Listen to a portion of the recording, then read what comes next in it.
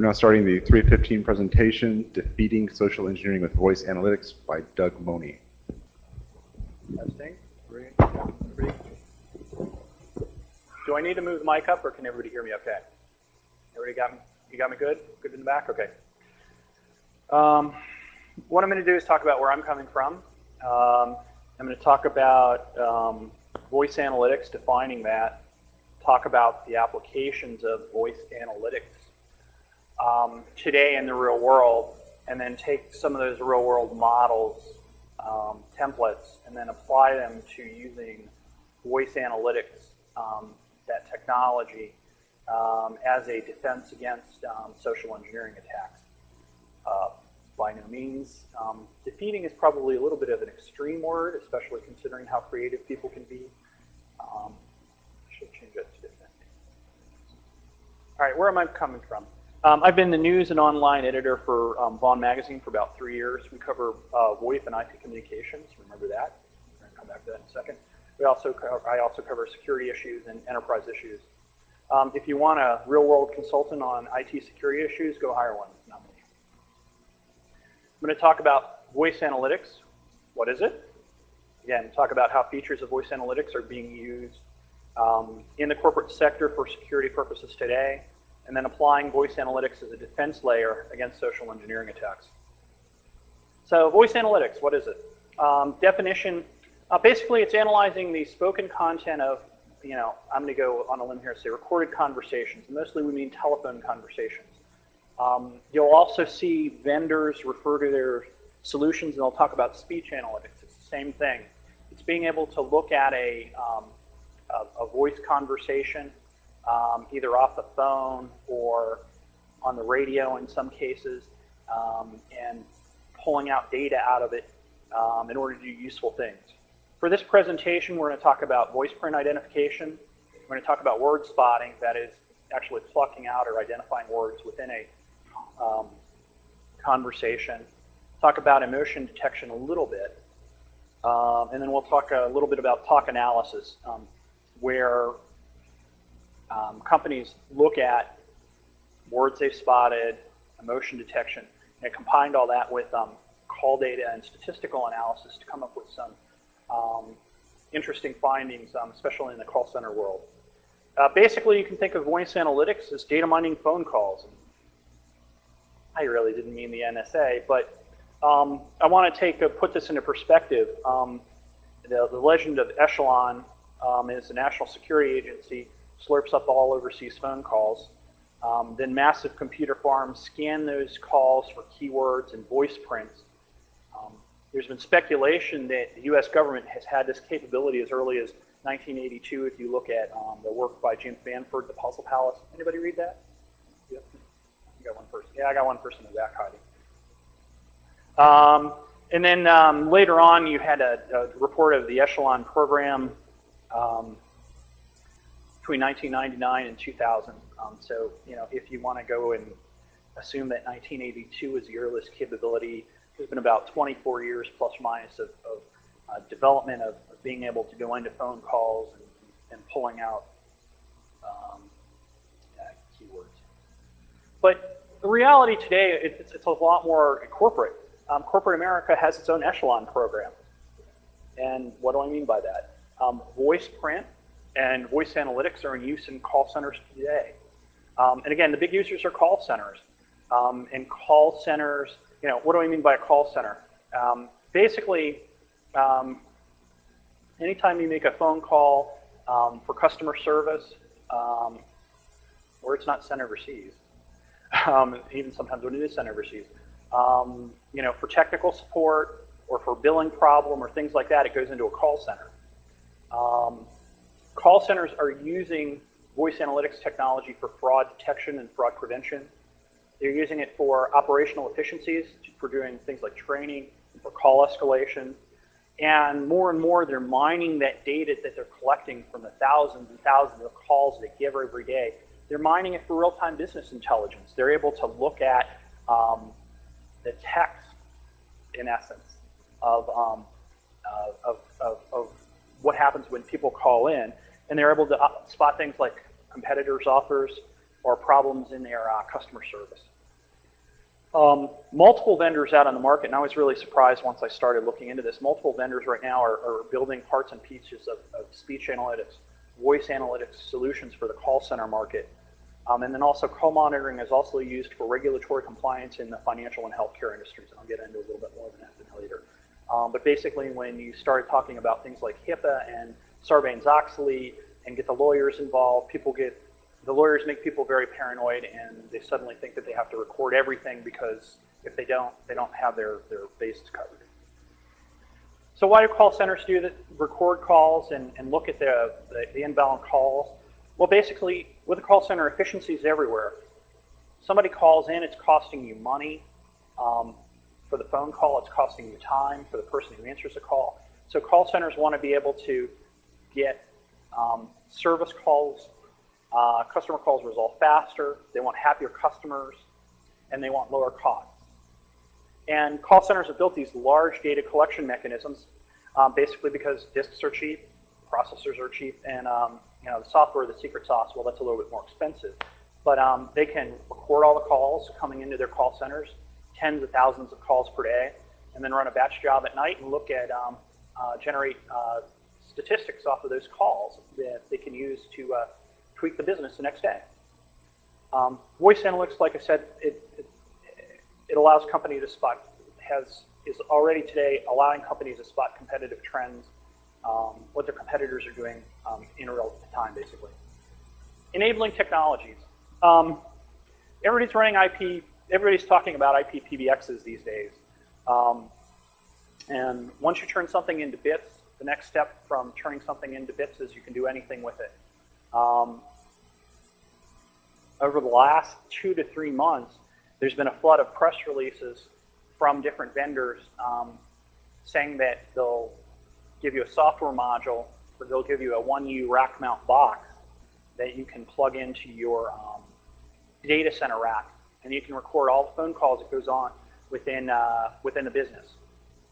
Um, and um, what you're starting to see is that um, as IP PBX vendors um, need more features to um, sell their products, um, a recording capability is going to get built into um, IPPBXs as a standard feature. Right now, most companies, it's an add-on, it's a third-party add-on. You go buy your soft, you go buy your IPPBX, you go buy your third-party software package, you, you, plug the two things in, and then all of a sudden all the calls um, within a business are, are recorded and written out on the disk. Um, and again, cheap processors, cheap disks. Um, you can store everything, you can analyze everything. Um, software is off the shelf. Like again, like I said, there are many vendors who, who um, are doing voice print identification, and they're also um, the more sophisticated upper end types are doing analysis. So if you're already recording calls for regulatory purposes, or if you're already recording IP phone calls for um, what they call quality assurance purposes, being able to take that data and mine it is the next step. Okay, and again, like I said, contact centers, they want to data mine all the thousands of phone calls that come into them on a daily basis. Um, financial institutes, um, banking and insurance, um, especially are starting to use voice analytics um, as a filter mechanism to spot um, cons. We'll get them, um, and uh, insurance fraud. I'll get into more of that a little bit later. And then commercial organizations want to ensure their confidentiality of their data. So I want to talk a little bit about voice print identification and, and some of the other features um, of the things you can do with calls. Um, and then I'm going to put it all together in a package later on. Um, voice print identification is probably the thing that we're most familiar with. Um, you know, uh, the voice is my voice is my password type of thing. Um, sneakers, everybody see sneakers? Yes. No. Um, where you've got a unique digital pattern to your voice, and it's a biometric means of identifying somebody based upon the sound of your voice. and there are multiple commercial solutions available um, for password replacement, um, and then they're starting to get plugged into organizations um, such as Nuance's um, things for verification. Um, getting rid of a password um, and using voice print identification is very attractive for a lot of companies, and I'll get into why in a, in a couple of slides. But Nuance, for instance, claims that they have over 150 million secure calls, whatever that means, annually, out of their customer base, and then The people using them are financial services, telecommunications, utilities, um, transport, and manufacturing. What are the commercial benefits of using voice print ID? Well, guess what? You get rid of um, pass, pins and, and, and password administration. Um, and it sounds like a trivial thing and, and until you scale from, uh, you know, from 10 people using, you know, having to deal with 10 people with user IDs and passwords to tens of thousands of people um, that have passwords or pins. Um, all of a sudden, you've built yourself a very, when you have many, many thousands of people, you built yourself a big administrative headache because people are going to lose passwords. People are going to forget passwords. They don't use them for a while. Um, and then having to reset passwords, you know, it, it takes time. So companies see that they can get savings um, if they, they use voice print ID because they don't have to have an agent on the phone going through the verifying, okay, what's your, what's your, uh, what's your mother's maiden name? When were you born? What's your dog's favorite name? They don't have to go through all that. They've got voice print on file. People aren't going to lose their password. Um, voice print also provides a, another means of identifying someone. So there's they're reducing the potential for fraud and identity theft um, if they've got a documented VoicePrint and they can use VoicePrint to um, verify your, your ID, verify who you are. Um, how's it used? Basically, um, you authenticate your identity the first time around. You'll make a baseline VoicePrint or uh, train a, a recognition um, uh, package of some sort uh, by uh, set, um, selective vocabulary. You read off a set of words, basically. Um, insurance companies are using voice print more and more for, for whitelisting and blacklisting people. Um, whitelisting means that if you called your insurance agent once before at a call center and he's got the call on file, well, he's got your voice print on file. So if you call back and you say, um, I've got a claim, you know, on my house, my house just burned down, you can go look back, um, you know, six months ago and, and, and take a look at, at, you know, when you're having a conversation the first six months ago when you're setting up your insurance, look at when you're making the claim now and verify that, oh, yes, you're the person that has the insurance policy with us. Conversely, um, insurance companies are using VoicePrint for blacklist for spotting known bad actors. And they're starting to use this in combination in building big databases. Um, if you look at some of the reports of Katrina fraud, you know, you get one guy who's, you know, makes 10, 15, 20 claims. It's the same guy who's just calling in to different people at different times. It's got different address, i.e. a different post office box. Of course, he's homeless from Katrina, so of course he's got a home post office box. He's got a different story. He's got a different ID, but his voice print's the same.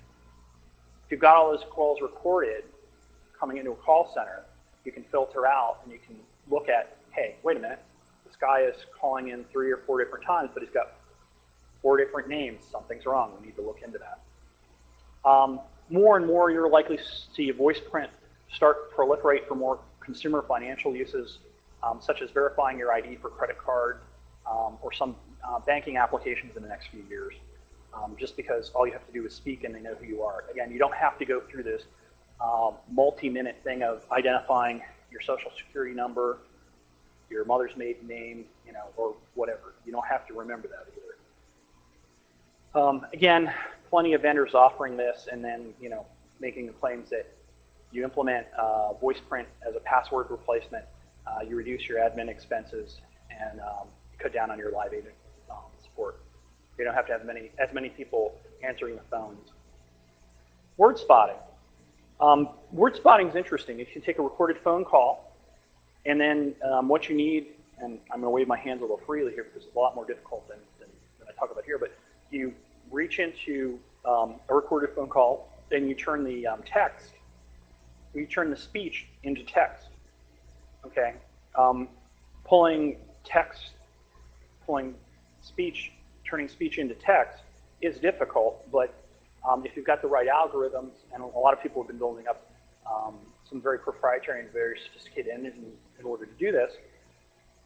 You take this conversation, you turn it into text. Well, once you've got it in text, you can index it, and then you can search for it and you look for keywords. Um, when you're looking for, you know, once you've got it into text, you're all you're good. Um, so you can take a conversation, that's been digitized and, and turned into text. You look for single words or phrases, multiple phrases, depending upon how detailed, how sophisticated you want your rule set to, to be. Um, word spotting is the hot tool for contact centers right now because they, of course, they star all the conversations with, with agents. You know, you, you, you call into a, a call center and you go, you hear your call may be monitored at any time, or this call is monitored for quality control purposes. Well, they're recording it. No two ways about it. They're recording it. It's getting stored on a disk somewhere. Now, what's happening is that um, they can dig through all those calls on a batch job every night, and they can find good experiences, the wow experiences. You can find bad experiences. How many people have uttered profanity when they've been on the phone with a contact with with a call center? Oh, come on. Yeah, I see. Yeah, there ought to be at least a quarter of those hands that'll fess up to it.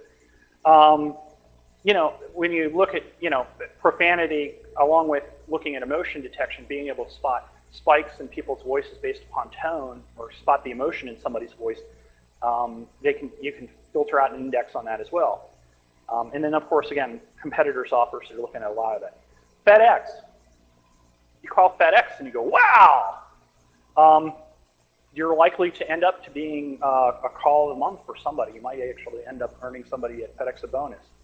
FedEx searches all inbound calls to their call center for wow, not oh wow, this is cool, man. They look for the word wow several times um, within their recorded calls, and they look for that emotion spike. They're looking for people who are really impressed with a with, with, a, with a call agent. Um, those calls are identified every night, and they're marked off, and they're and you know they take the files, the you know the MP3s or whatever they have, and they mark them off for training purposes. So new call center agents can listen to those fresh calls and learn how to be better call center agents. And then the one thing that, they, that, that vendors wouldn't talk to me about, but I know they do it, they got to do it, you know, people use profanity. You want to look, if you're at, in a call center, you want to look at the angry customer. You want to look at um, whether or not you're, you're uh, the guy's answering the phone, um, you know, why is there a problem with this call? Is it bad customer because he's profane or highly sensitive? I know that whenever I get on the phone with Verizon, I, my blood pressure spikes about five points and I start swearing and I don't know why. I just can't control myself. Um, yeah, I know it's a phone company. You should always do that. Um, or is it a bad business product? Process is a bad product, or does the agent need to improve or polish the way he handles the customer? Um, word spotting um, for real-time competitive in intelligence, like I said, inbound calls are a massive source of um, data on uh, customer and market trends and they're used, word spotting is used uh, for competitive intelligence. Look for the name or mention of, of um, a competitor or mention a, a, special offer, great offer, or other type of switch. Let me give you a real world example. Um, I switched from my long distance phone service from um, AT&T to um, one of those Cox, um, over to Cox's cable service uh, for flat rate. And I had to call up AT&T, I had to call up AT&T in order to cancel my long distance service on the phone line. Um, and the first question he goes, well, why are you leaving us? I said, well, I got an offer from Cox because they got a better, you know, because I got a flat rate price. Guess what? That information's recorded along with all the other cancellation calls, and every night they crunch through. And companies can look at this every, uh, uh, you know, look at the batch run, um, the resulting report in the morning, and identify in real time, you know, is somebody doing an offer in a certain part of the country that um, cutting into our business? Okay, they can identify that, they can respond to that, and they can modify their marketing and sales strategies in near real time rather than five to 10 months later with sales down by five to 10%. Um, and then of course you can also use the data to, to generate things like profiles of good customers or bad or trouble customers. Um, let's get this one of the companies that's in the um, in this business is a company called uh, Nice Systems. Um, they're traded on Nasdaq. They made 311 million dollars last year. Um, they're what I call the Microsoft of voice analytics. Some people may argue with me about that, but um, they've got 23,000 customers they make they lay claim to with all their products, um, including 75 of the Fortune 100.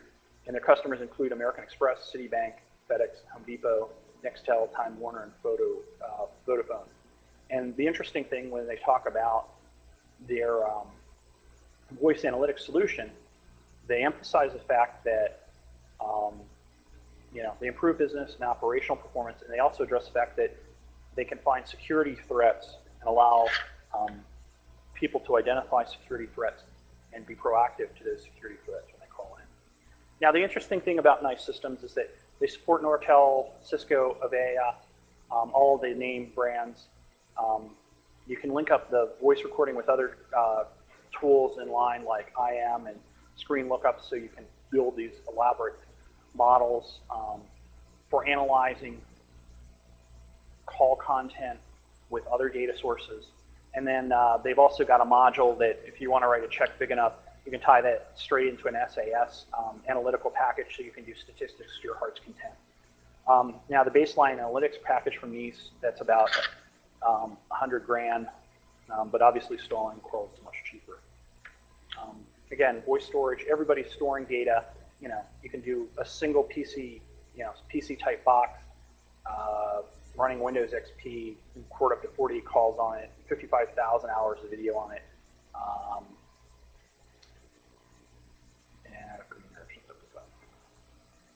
and then Nice thinks that everybody should store things, and you look at the trend, customer trends, you look at the trends in, indus, in, in the enterprise space today, everybody's got an IP PBX is thinking about storing their calls um, because they think they can do something with the data. Okay, again, commercial volume. Liability requirements. Uh, just liability requirements real quick. Why do people record or get neurotic about it? Um, uh, people in the health and care industry have the HIPAA regulations. Um, they feel they have to track communications to ensure confidentiality of information. From a financial perspective, um, companies want to monitor for leakage of information, for insider trading. Um, and then you've got Sarbanes-Oxley. So everybody's paranoid about what the requirements for Sarbanes-Oxley are. So lawyers have skewed things to overkill. So um, companies are now providing audit trails of calls and monitoring. We talked about that. Well, how do you use this, all these techniques to defend against social engineering? Um, an interesting data point when I was going researching, there's a company called Vocent. Anybody from Vocent? No? Um, they had a white paper on their website that said social engineering and identity theft, how criminals exploit your call center. That white paper is now removed from their website. Um, social engineering, a lot of times, is the way in um, in order to break security.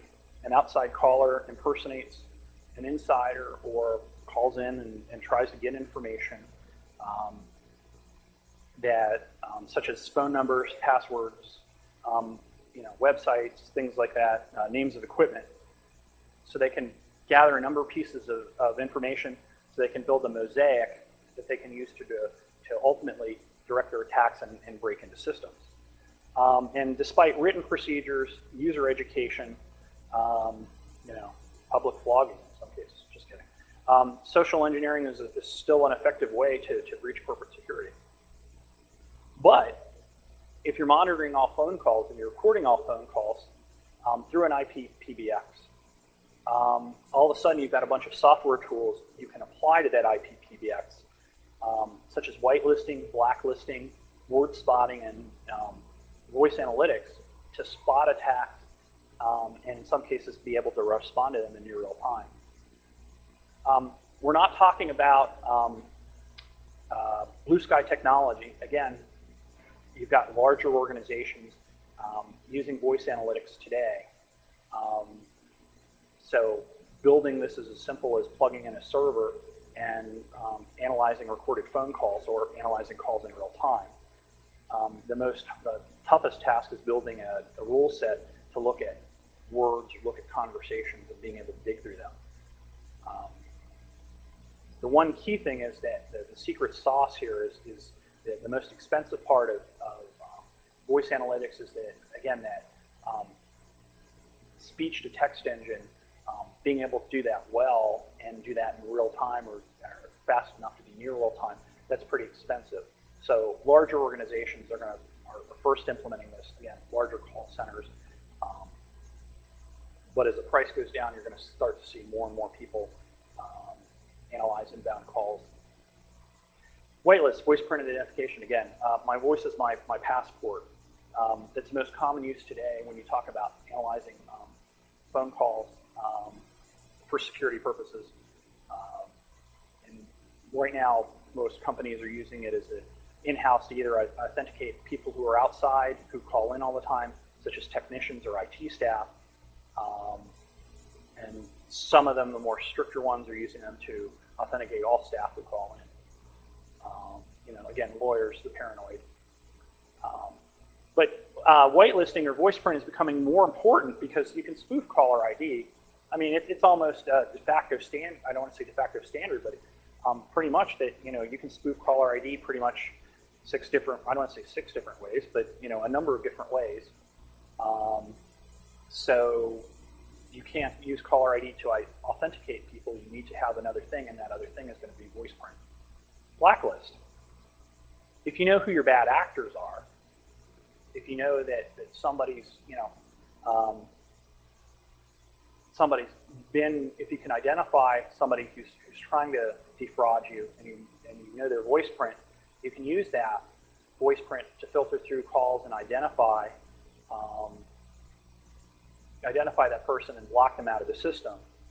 Um, you could either use, if, you, if you're using voice print as a blacklist, you could either flag or deny um, somebody access to the rest of the phone system. Um, or if you want to be cruel, you can send them into voice attended hell and they just have to go four or three and try to reach a real person. Um, blacklist with sharing is also interesting. More and more um, insurance companies realize that, that, you know if they've got a, somebody trying to defraud them five to ten, um, one insurance company realizes that you've got somebody trying to defraud them, then you know insurance the, their competitors also have that problem. It's in their best interest to identify that bad actor and make sure that neither one of them get ripped off. So more and more insurance companies are starting to share that data. Um, word spotting. Um, again, you can build a, a, a, vocabulary of words that you get monitored and, and look for. If you have somebody calling in and they're asking for a password or they're asking for user logins or they're asking for more sensitive information like you know, can you tell me the phone number of the CEO? I need to get a hold of them because it's an emergency. Um, you know, anybody who's trying to, to run a social engineering um, um, attack may make more than one phone call to see if he can get the information. And he's going to ask basically the same question. Um, if you can identify keywords, um, then you can search for vocabulary of words um, that'll set off flags um, and you can go ahead and take further action. Um, and if you cross match that with caller ID, assuming caller ID is not spoofed, I mean, if somebody's asking about passwords and they're, you know, on a phone across the street or a phone that you I can identify, then that's an obvious flag that um, there's something. Now, word spotting, if you're going to use that for um, security purposes, um, you're likely going to have to establish baseline or threshold to prevent false alarms. Because let's face it, large organizations, again, somebody's going to forget going to forget their um, login. They're going to forget their password. Um, if you've built up a more sophisticated vocabulary, depending upon how paranoid you are, um, if somebody calls in asking about your routers, is that a hacker or is it a sales guy? Well, if it's a sales guy, you know, if, it, if it's a sales guy from Juniper and he wants to sell you upgrades to your, you know, he wants to um, sell you upgrades on your gear, well, then that doesn't have to sound an alarm. But um, if somebody's calling in asking about your um, asking about your router gear and you don't know them from Adam, then that's an area of concern as well. Probably, unfortunately, um, I suspect that um, initially um, voice analytics is going to be, get used a lot for post-attack reconstruction.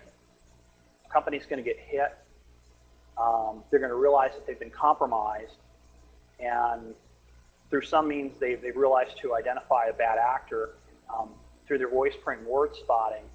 Once they've identified a, a single phone call where, where, um, where an attacker has um, called in, they can go ahead and use that information and figure out, okay, how many phone calls did this guy make? What information did he ask for? So they can go back through a log of calls and they can trace back who was called, identify the methods that this guy used in order to get the information, and identify what information was used to compromise the company. Um, and once you've got that information, of course, you can generate a, a, a full time-stamped audit trail as to who called, when they called, and you know, again, where they called if caller ID wasn't compromised. Um, on the other hand, uh, hackers aren't stupid. Um, anybody trying to compromise your system may be aware that you know you may use uh, voice analytics against you. So they may have tactics to get around um, a high-tech electronic filtering system. Um, and they and on the other side of the coin, you'll be able to take countermeasures in order to um, prevent um, these methods from being compromised. Whitelist. Um, again, um, if you look at sneakers, my voice is my passport, and then you had you know somebody using a, a, tape recorder, and then you had this whole elaborate scene where where this woman was trying to get this geek to say passport. Um, these days, um, you don't need a tape recorder. You can just use anything like, oh, I don't know, an iPod to record, or a, an MP3 player to record somebody's voice print, or and then use a laptop to polish up the product. You can play it on an iPod. You can play it on an MP3 player. Um, in order to, to simulate a voice print. Now, the countermeasure for, for that is if somebody's trying to, to beat voice print with a CAN thing, um, you can use emotion detection. Because if somebody's playing you a canned response, they're not going to be able to spike, make things happy, make things sad. Um, but the underlying software analyzing the call can detect that. Um, another countermeasure that people are going to uses um, what I call the phrase that, that pays. Um, when you go into HR to get your voice print logged in in the future, they're going to give you a list of 25 random words to repeat. They can get a, a voice print in the vocabulary that they can recognize you by. Now, what's going to happen is if they need to, uh, if you need to be authenticated in a automated fashion, you'll have some sort of daily random generated phrase um, uh, that you'll have to repeat on the fly, and then you'll have a certain amount of time in order to repeat that phrase in order to be authenticated. That's going to be much harder to smooth rather than a, a single sentence um, CAN phrase. Um, you know, especially if you're trying to, you know, this, you're not going to be able to cut and paste words that fast. Um, word spotting. Um, it's a little bit harder to beat, but people are going to be creative about it. I mean, if, if, if uh, an attacker knows that you have certain hot words that you look for, like password, um, like user ID, they'll, they'll probably try to use um, some sort of substituted phrases. Um, but that could also be very awkward. You know, if, if you're going to ask somebody for their user ID and password, you know, what's a synonym for user ID? You know, your login. Okay, well, we'll put that in the, the, uh, the vocabulary we'll analyze, so forth. Um, alternatively, if somebody's running an a, attack and they realize that you're, you're looking for words, um, people are going to be running a slow attack to avoid that baseline or threshold of things. Because again, um, you know, you're going to have a certain amount of phone calls during the, the course of the day where people are talking about passwords, either getting a new password set up, or you know, again, the, if you're looking for routers as your hot word, you know, your your your Juniper rep's going to call in to try to sell you XYZ, and he's going to talk about routers. Um, the, the canny hacker, the canny attacker, is probably going to do something where he makes a call a day or call per week, something that doesn't set off alarms, but something that you know he can gather um, the information he needs and build his mosaic. It's going to take him longer, but he'll still do it. Alternatively, um, the attacker can try to get as much needed information all the needed information he needs as fast as possible um, to set up an attack, um, gather it, build his picture, go in, break the system, and get out, um, all before security has a chance to react. But that's a little bit, it's going to be a lot trickier. Um, if there's a, there's a, you know, there's a lot of key pieces of information he or she needs. Um, and again, countermeasures for word spotting, you know, you can build rule sets, if, then, else's, ands, um, to match keywords to your heart's content. Um, you know, it'll increase your rate of false positives or alarms, but um, you know, some people are going to live that. And again, you can also um, mix keyword monitoring with unique voice print. So how do you beat the blacklist? Let's say, for instance, I have um, Kevin Mitnick's um, voice print on file. Well, all Kevin has to do is get a, a friend or a, a, circle of friends to go and ask a question at a time um, for a social engineering attack um, and gather the information that way. You don't have to be the sole actor involved to gather information in order to, to, to beat a blacklist. On the other hand, it requires multiple people to be involved. Well, how many people can you can you have involved? And I you know saw this in you know Benjamin Franklin. How many saw that and thought of Karl Rove or Dick Cheney? You know, three can keep a secret if two are dead. Okay, the more people you have involved in terms of an attack, um, the larger the potential for leaks, the larger for potential just you know how do we deal with psychodrama? I mean, things get more complicated. Um, another countermeasure, again, is the shared blacklist. Um, companies are going to share blacklists of voice prints. Um, if they share them around in real time, social engineering attacks are going to get detected faster. Tactics, I love this one. Hack the analytics box. Uh, voice analytics systems, most of them are Windows-based. Um, your best case is that if you, you um, have an analytics box running and um, it goes through some sort of denial of service or the, the, the, server crashes for some unknown reason, well, hey, guess what? That gives you an indication you're being attacked. Um, now, the attack crash is going to give you a, a date or time for uh, when you might have been penetrated. Worst case is if somebody owns the box and understands the software, um, everything on the box is fair game, and they're going to be able to edit whitelist, blacklist, vocabulary, monitor phrases. Um, so the countermeasure to that is uh, secure an analytics box, um, just that's going to process voice just like you would anything else. You know, you got to secure physically, you got to secure the network. Um, and then the one thing I think that goes without saying is that whoever operates this box has to be a trusted character because if he's an inside guy, then this layer of security is blown if, if he's the guy that's crashing your network. Summary. Okay. Again, voice analytics is being used today in, in call centers, um, in the Fortune 500, and, and um, government applications um, to spot um, fraud, to identify people.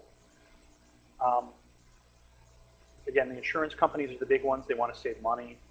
Um, they want to catch people trying to rip them off.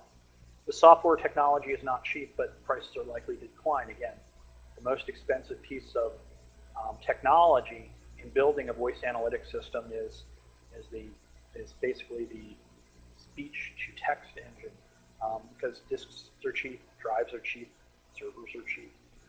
Um, and then your first implementations of um, um, people who are, are, are, implementing this technology are um, high security, high risk organizations again. You know, who's going to do uh, identity theft, um, that sort of thing. Food for thought. Again, this technology is so cheap anybody can do it. So you don't have to worry, you know, people shouldn't worry about Echelon USA. People should worry about Echelon Sweden or Echelon China or Echelon Russia. Um, the gear is cheap. The software is off the shelf. I mean, NICE Systems is based in Israel. It's not too much of a stretch to think that Israel may have the capability for their own little um, voice analytics thing. All they need to do is be able to get access to a um, uh, telephone call flow um, in countries they may be interested in, like, I don't know, Lebanon, and um, um, sort through that stuff and ID and, and fill out a voice print ID so they can go find um, uh, go find people. Um, and again, it's not only nation states that have this capability. New York City could pay for a capability like this. New York City has, you know, thousands of cops, and I don't know how much their budget is, but you know, they've got a multi-billion dollar, multi-billion dollar police budget. But anyways, you know, um, for somebody like New York City to build their own um, system to process through phone calls and um, find people by voice print ID is, is not a big stretch of the imagination. It's not just for Big Brother anymore um, in terms of the U.S. government, it's, it's any government that um, can go buy the software. Um, corporate government, true. Well, you've got no privacy. Again, the trend is if you've got an IP-PBX, the next step is, well, we want to record all phone calls in and out because we want to analyze the data or we want to protect ourselves. Um, the downside of this is if you work for an exceptionally paranoid um, private employer, it can monitor phone calls for things like if you're looking for a new job, you call your boss a fuckhead once too often. You know, I mean, it's you know, it's it's, it's easy enough to do. Um, and then finally, if you thought that um, you know DNA was bad, that is, if you leave your DNA everywhere, well, your voice print, you know, um, you can pull that off of speeches, pull that off of public conversation, phone calls, podcasting. Your voice can be found everywhere. Um, BBN actually has a service where um, they're taking podcasts, they're doing speech to text, and then they're indexing um, podcasts based upon the uh, the words in a, in, a, in, a, in podcasts on the internet. Um, you know, it, it one step beyond that is you can use, um, you know, build your own um, database or index of, of voice print IDs to identify people. Um, which brings us to Google Voice.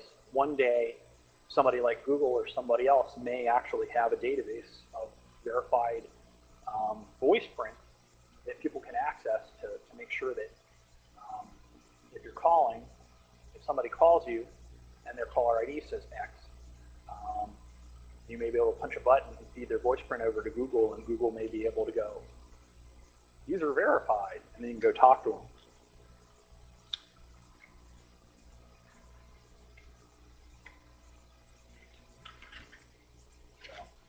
My email address again on the notes. Any questions, comments? Yes, sir.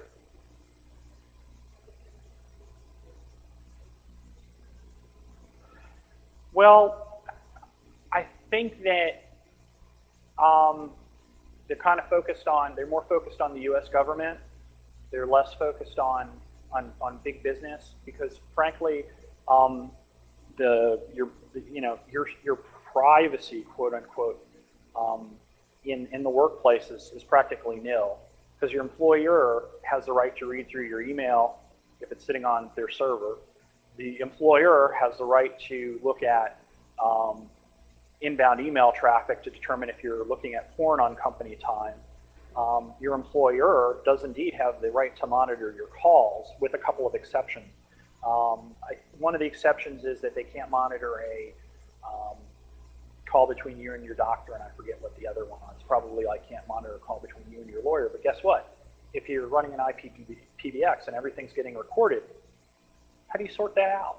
Is there a button on your phone that you press and mark privacy? You know, that, I think that, you know, longer term is that you accept the fact you have no rights as, when you work for a, a company other than being a sole proprietor and use your cell phone if you have to make personal calls. Yeah, the days of phone sex on the phone sex at the office, they're gone.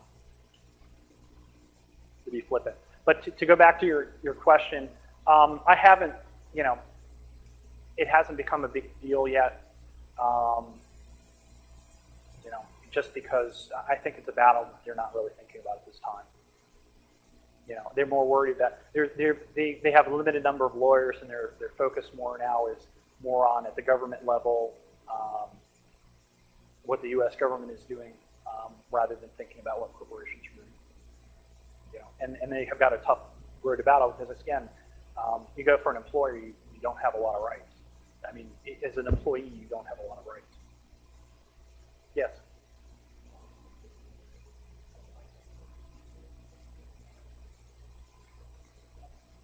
What?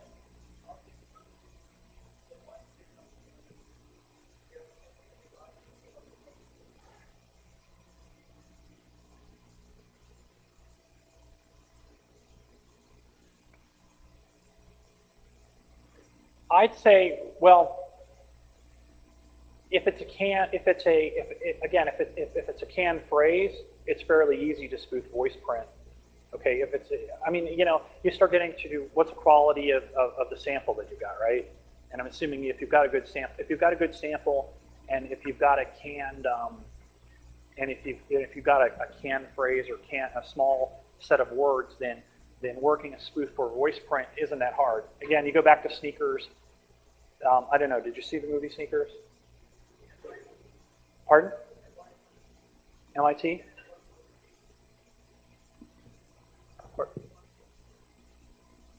Okay. So, you know, it's, you know, let's just say that for, for a small, again, if, if for a limited set of, of items or phrases, it's, it's probably within the realm of possibility. Once you start using more words or phrases, then it becomes harder to spoof voice print. So there's not, there's not a lot about it. There's, you know, because you start getting into, okay, well, how many words do you know that you have prints on? And, and, you, and, and you start getting into a lot of variables. Okay, well, how is the sample taken? Things like that. You know, so because each word you say is going to have its own unique characteristics. And how you string them together, that's going to be another set of unique characteristics. So, other questions?